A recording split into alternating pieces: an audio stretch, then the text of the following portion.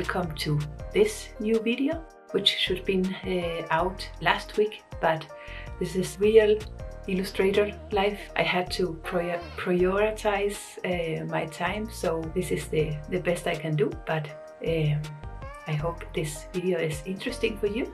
So for this week, I will take you to work with me, but don't worry, you just have to grab a coffee or something and uh, I will do the heavy lifting. Today I will take you through the working process uh, behind one of my illustrations for this calendar I'm working on, which I am painting with gouache. I will tell you about all the thoughts and all the stages I go through when I paint, all from the ugly stages to the more pretty stages, the reference images that I use, and how I create these uh, images, uh, which I mainly have in my head and how I get them down to the paper. So for today I will show you how I paint the month of January. This is a scene with the snow and some pheasants and a badger and a little squirrel here in the corner. So let me show you this uh, January winter uh, illustration and uh, show you some speed painting of it uh, so you better can see what I mean hopefully and I hope this video yeah I hope this can um, inspire you to paint. And yeah let's get to it. So the first thing that I start with when I paint a landscape is always the background the thing that is most far away and in this case that is the sky. Sometimes I mix the colors on the plate and sometimes I put the colors directly on the paper and mix there just to save some time. So here you can see me also painting what will be some grasses behind the birds and sometimes you would you will see me drinking some mate and because this is a speed paint it looks very like everything goes very quick, but I actually take a lot of breaks to see and contemplate what I have done so far and to see if that is correct or need to do something else. And especially with an illustration like this, which is just from my head, I don't have any reference image with everything in one place, so I have to use all the different images that I have to paint the different elements and everything has to uh, match in lighting and in saturation and all that kind of kind of stuff. So once I had the first layer of the background behind the birds ready, I could see that I needed to go a little bit darker. So I added an extra layer and after that, I started painting the grasses. First, some dark grasses that will be the ones that are behind. And then I put some more light, almost white and pastel colors.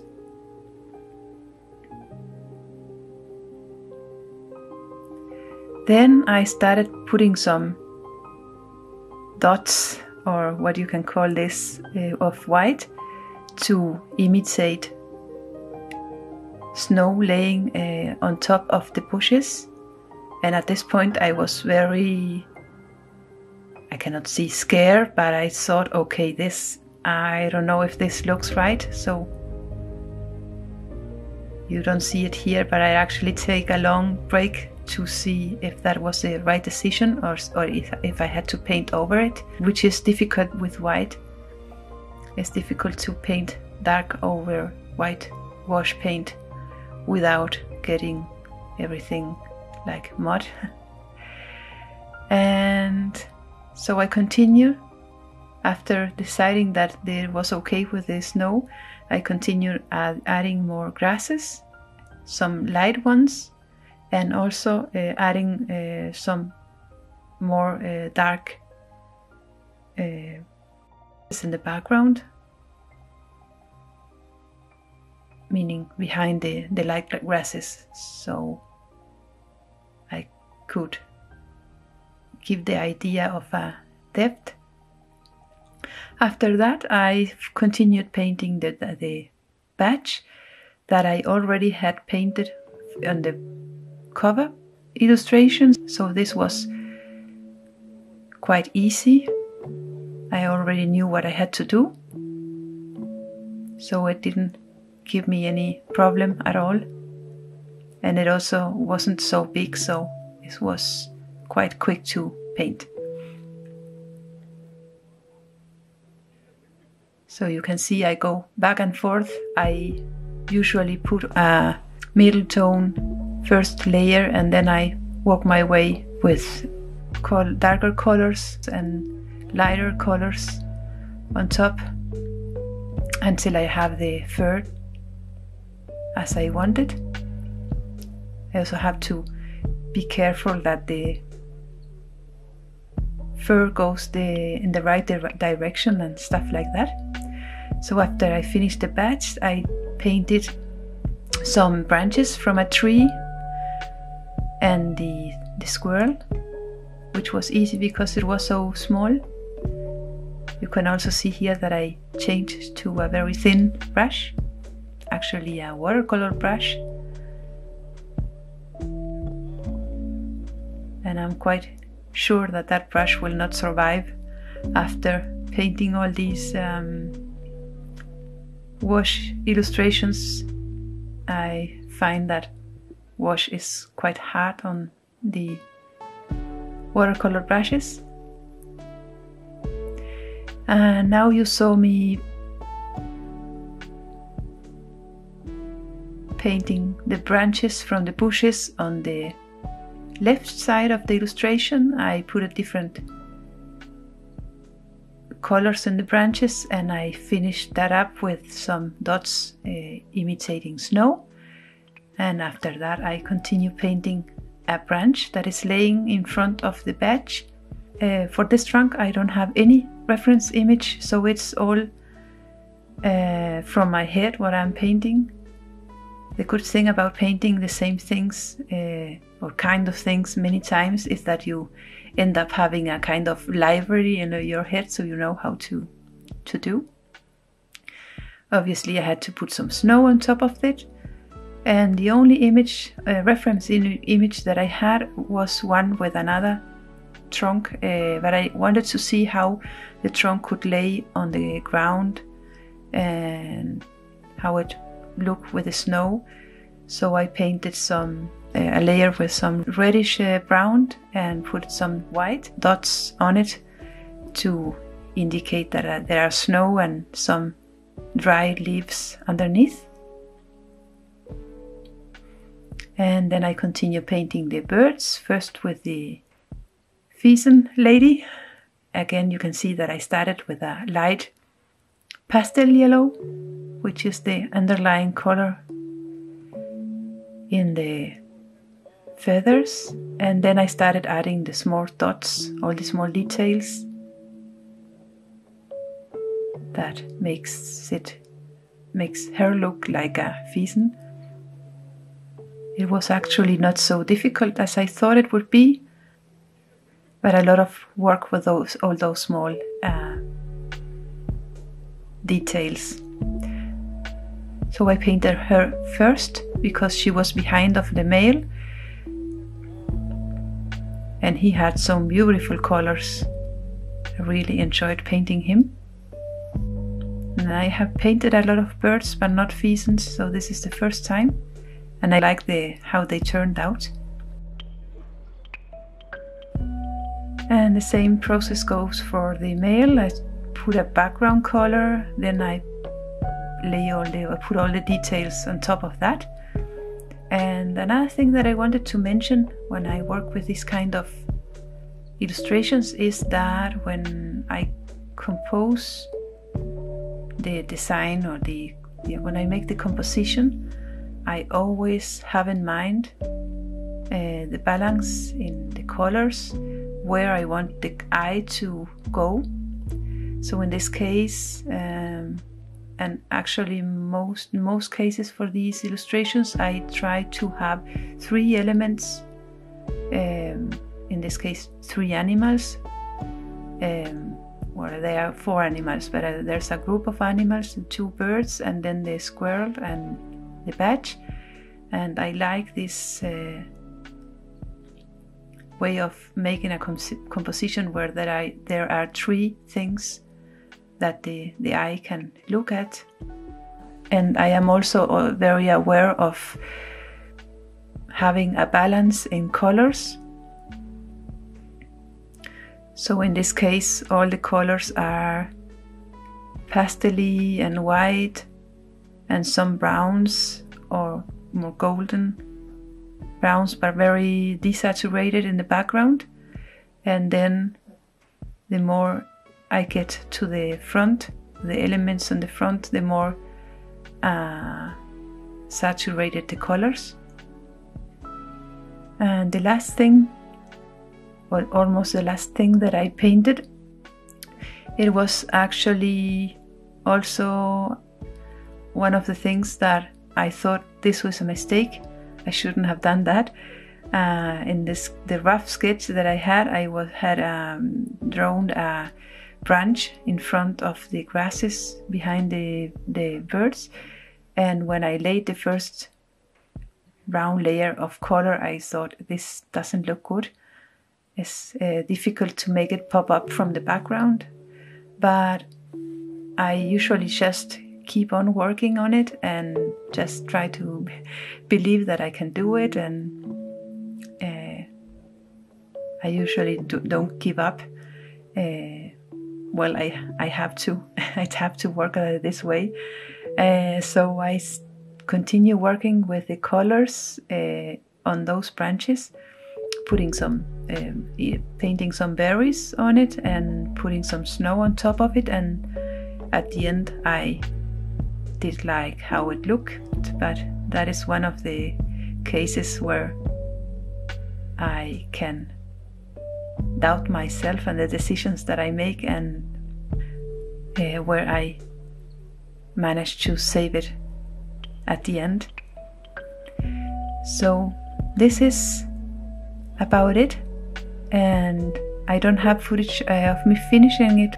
You could also see that I laid some paint directly from the tube as it had to be white and I didn't need to mix it just because I am a little bit lazy and I want to save time. I don't have footage of me finishing this up, but I think you, you get the idea on how I work and all the thoughts that goes uh, in my head when I'm I am working, and I am sure they are. You have some of the same. Uh, so, yeah. So now that let's go back to the blog. Um, just before I go to back to the blog, I just wanted to show you the finished piece and what I was talking about regarding composition uh, which I don't think I explained as good as I wished. So I was talking about having three elements. Uh, here I meant the three animals, or we have a group of animals here, and one here, and one here. Um, so you have, and they are all in different sizes. And together with the, the background which is very uh, you can see far behind here and here you get like closer. It's the idea that you can you can get the eye to to look at, at these things and stay here. Uh, and maybe end up in these birds that is one thing i hope that makes any sense and the other thing is about the color. The background, as you can see, is very pastely and gets stronger or has more saturation when it comes to the front. That it also includes includes the background bef- behind the, the birds, but still more desaturated than the birds. So when I put colors, um, the main color that I have here are grays, white, and these pastel browns. And then I have some pops of color uh, or contrast. So uh, because I have these birds uh, that have most saturation and red orange color, especially the male. Um, I needed to have something that could balance on the other side, so that's why I did these bushes in a reddish color and the these leaves under the trunk. I don't know how much you can see it here, but there, and also the squirrel up here. Uh, so in this way I make a balanced image that is interesting and has enough things so you can stay and at least for a moment and contemplate what it's in it. So yes, that is it and now we can go back to the blog. I have also been removing the background of the cover illustration which I have shown you in another video. So I do this with Photoshop and, and digitally of course and this the idea this time this for this year is to make it easier for me because the last year's calendar I painted the background together with the animals and other elements and it made it uh, difficult to make a even uh, background and so this time I decided to paint the animals and other elements on one piece of paper and then paint the background color on another one.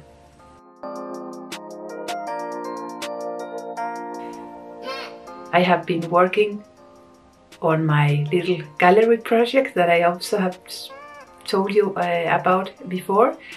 So I decided uh, that I didn't like those uh, metal uh, frames that I bought and also some that I had at home here. So I took them all and I found some old very old, I think about 10 years or something like that, uh, acrylic, cheap acrylic paintings and I mixed a dark uh, brown color to imitate uh, wood. So I took those and painted them and I can tell you they look uh, really really good. I like them. It's the the painting is a little bit fragile so I have to be careful but I've decided to keep some of them for my own um, dining room where I have a little display of my work and use the ones that I haven't painted that is real wood, wooden uh, for my gallery here. And I did all this um, while I was uh, listening to uh, some music. So also for when I work, I usually like to watch uh, some news uh, while I'm painting or some other illustration videos, but it is also very distracting. So just hearing music um, makes my work um, much more uh, efficient um, time-wise. And I was actually missing to hear music with a better, a little bit better quality because the iPad that I usually use also to hear music is not not the best quality. So um, my husband um, said that I could borrow this uh, boombox. uh, so I have it here at my office now and it's working very well. And one more thing, I know I have to make this video about how to get started in a creative business in your 40s and I have still not uh, made that video obviously. Um, I have a lot of notes and I'm trying to think the best way to summarize how you can do what would be the best things to to start with and, and things like that but um, still be patient with me I will I will do that video at some point I was also hoping to get a better microphone so I don't need to sit here in front of the camera and not be able to move around and stuff like that. But um, uh, yeah, some things takes time. I hope you enjoyed this video and please uh, help me by just giving it a like or um, put a comment down below. That helps a lot. And other than that, I hope you are doing well and I see you next time. Bye.